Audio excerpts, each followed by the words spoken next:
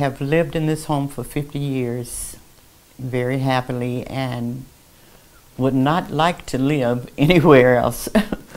and due to Habitats, so far I've been able to exist in this home.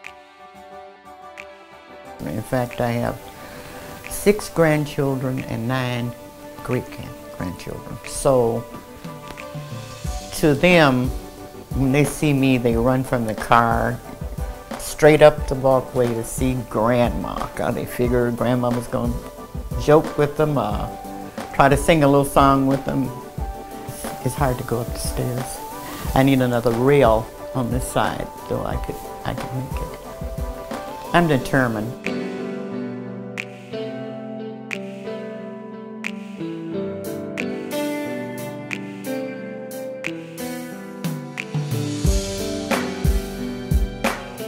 Um, living on one floor is important for for older people. I would like to be here.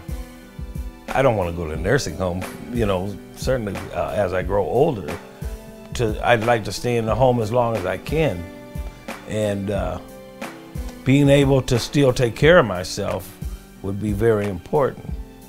Twin Cities Habitat for Humanity is pioneering a new initiative called Age in Place.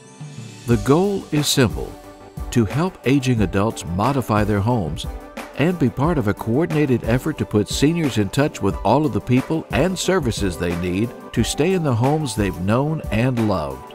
As you get older, I mean, people need uh, people to reach out for them. And, you know, the upkeep of the outside of their home, it gets to be where you can't do it anymore.